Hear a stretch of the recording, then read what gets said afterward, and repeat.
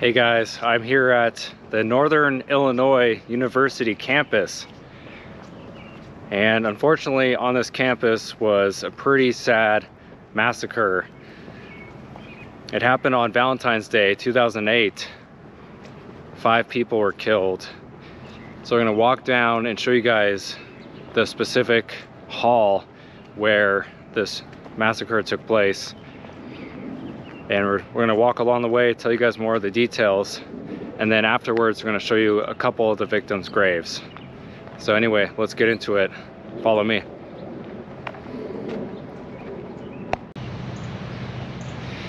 So northern illinois university is located in dekalb illinois.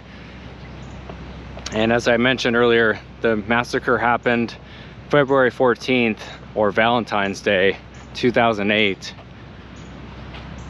the perpetrator's name was Stephen Kazmierczak, who was 27 years old at the time of the murders. Now, Stephen arrived at the university here at about 3.05 p.m. He entered a large auditorium building, which was called Cole Hall, in that building was an oceanography class that was going on. There was approximately 120 students in that building. Stephen was wearing dark boots, a black t-shirt with the word terrorist on it. And with him was four different weapons. The four guns that Stephen brought with him were a 12 gauge Remington shotgun, a Glock 19 semi-automatic pistol, a 380 Sig Sauer P232 semi-automatic pistol, and a 380 Hi-Point semi-automatic pistol.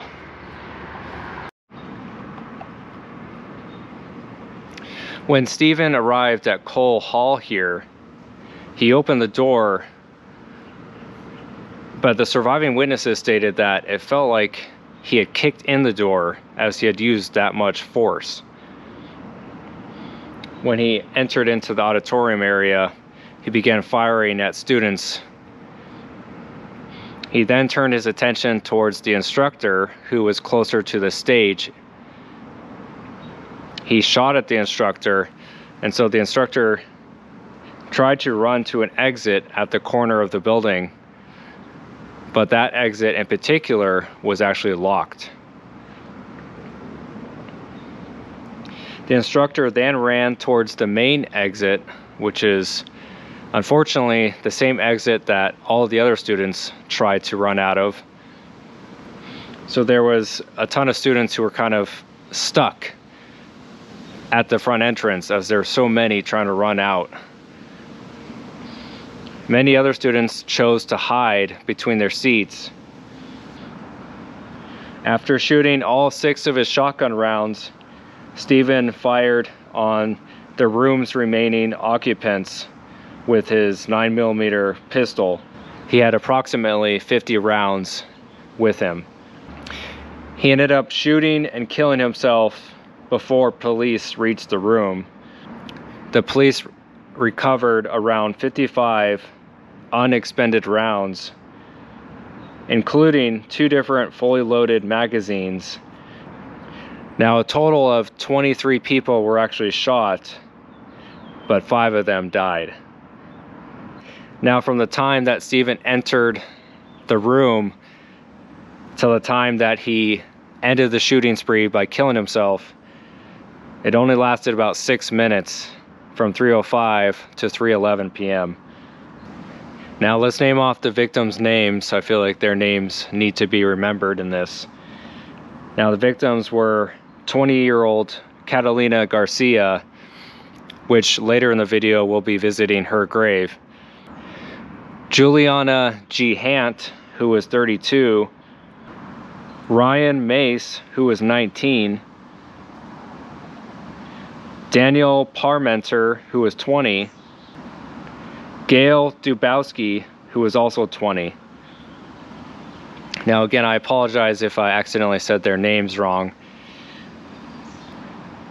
Now, three of the victims were pronounced dead on scene here, and those were Catalina Garcia, Julianna Gehant, and Ryan Mace.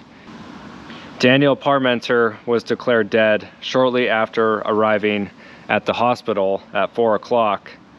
Gayle Dubowski was flown to the nearest trauma center, but she was pronounced dead around 4.14 p.m. Now, a little bit more background on Stephen, the perpetrator.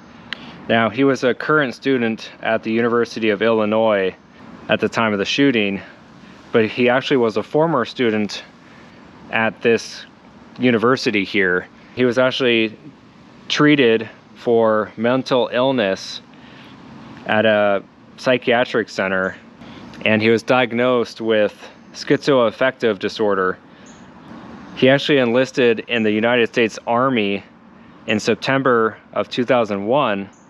However, he was discharged before completing his basic training as he apparently lied on the application about his mental health. Now, at the different colleges he attended, he was described as a pretty standout, well regarded student and seemed pretty normal according to most staff members. Now, Stephen actually worked less than a month at the Rockville Correctional Prison for Women. He worked there from September 24th to October 10th. Now, his reasons for leaving were actually unclear. He simply just didn't come back to work. Now, weeks before the shooting happened, Family and friends described Stephen's behavior as becoming more and more erratic. Stephen's girlfriend confirmed that he was taking Xanax, Ambien, and Prozac, but that she said that he stopped taking the Prozac about three weeks prior to the shooting. Uh, she also mentioned that during their two year relationship, that she had never seen him display any sort of violent tendencies of any kind and said that he was simply the nicest guy that she had ever met. After the shooting, authorities intercepted many packages that were sent to her that were obviously sent from Stephen to her. And these packages included many different ammunition, a gun holster, a textbook on serial killers, and a book titled The Antichrist.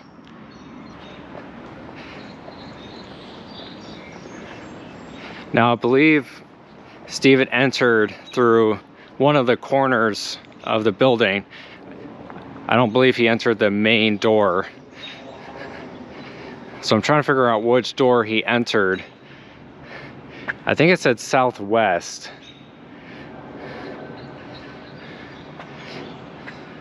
So again, I don't know if it, it could have been one of these doors on the side. But I, I don't think it was one of these main doors. Now again, what I find kind of ironic is, of course, no weapons allowed, right?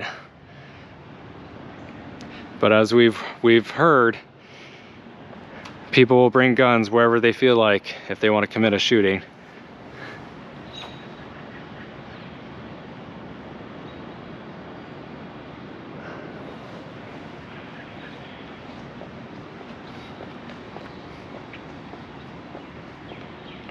Now there's doors kind of on all the different sides. So I mean, For all I know, he could have entered one of these side doors.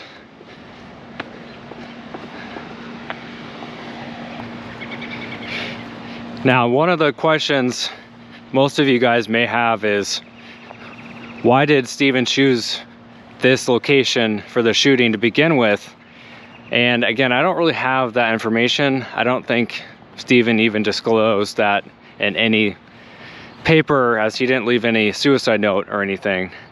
So again, he did attend school here and he graduated from here. So who knows, maybe he had some sort of resentment of some kind against this school. And who knows, maybe he had a class in that Cole Hall. Uh, I mean, again, your guess is as good as mine. I'm once again back at the Queen of Heaven Cemetery here in Hillside, Illinois. And this is the same cemetery that Tony Spilotro's grave is. So if you guys missed that video, I'll leave a link to it at the end of this one. Anyway, I'm here at the same cemetery. I'm visiting the grave of Catalina Garcia.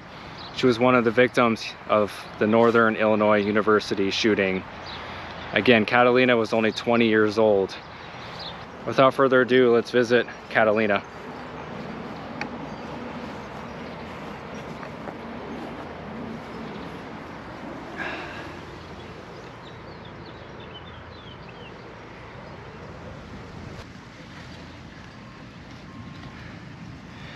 It's hard to tell with the sun glare off of this, but January 15th, 1988 to, of course, February 14th, 2008. Again, as I mentioned earlier in this video, Valentine's Day is supposed to be one of those happy, loving, joyous days. Even if you don't even have a significant other, it's just kind of supposed to be nice. It's supposed to be just a, a nice, loving day. And for it to turn into a, a terrible massacre, it's just absolutely terrible.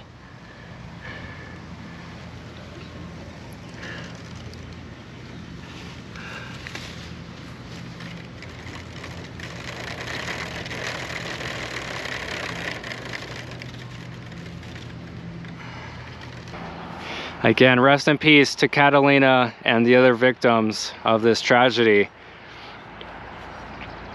Again, it's just one of those unfortunate things that it just is becoming more and more common now in the United States. Uh, shootings are popping up every day. Anyway, guys, again, my name is Harmin. Thank you for watching my videos. Again, if you're new around here and you enjoy this kind of stuff, make sure you subscribe and I'll see you guys soon. Thank you for watching.